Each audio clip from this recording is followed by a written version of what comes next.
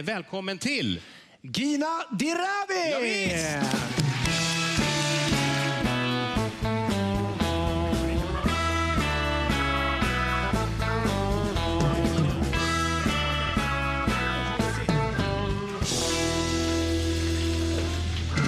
Tänk vad kul! Eller hur? Ja, vilken överraskning. Alltså hur, hur hamnade du här, höll jag på att säga. Hur, hur har det här gått till? Ja, man får en förfrågan och sen tänker man över det och sen tackar man ja. Det var typ så riktigt. Ja, men var det helt självklart? Hur tänkte du? Nej, alltså jag tror att jag har fått förfrågan genom åren. Ja. Gud, borde jag ha sagt det om du har varit Ja, där? men nu nej, sa du. inget sånt. Ja. Det nej, är och vad det sen är. har jag... Gud, vilken ångest. Nej, och sen så har jag inte...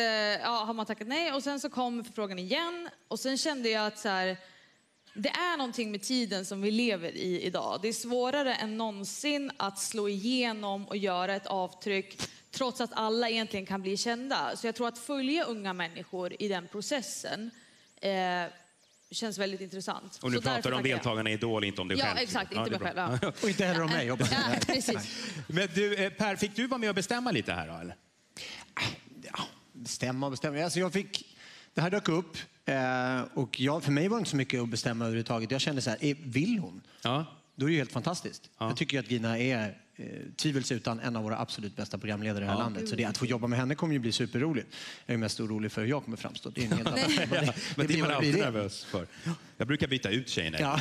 ja, jo, jo tack. Jo, tack. Vad har du för förväntningar nu på det här jobbet då, Gina? Förväntningar? Vad hoppas du på?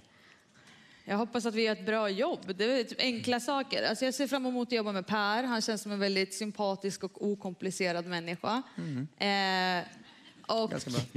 just att få möta idolerna ska bli väldigt intressant. Eh, men sen vet jag inte. Alltså vi har typ inte... Jag har vi, snackat vi har inte snackat Så så här, mycket. Jag vet inte vad jag ska säga. Det har varit så hemligt allting med det här. Vi har typ knappt kunnat ses. Det har varit så här, bilar med tonade rutor som har åkt in i garage. Och så vi Ja, säger, här. kan vi eh, prata manus här nu? Men hur gammal var du 2004 när, när programmet kom egentligen? Gud, det var jag 13 och ett halvt, eller typ ja, 13, 14. Eh, så Darin var med i första programmet, eller Ja, hur? precis. Dog för Darin, gick på hans konsert i eh, Ikea i Sundsvall, grät.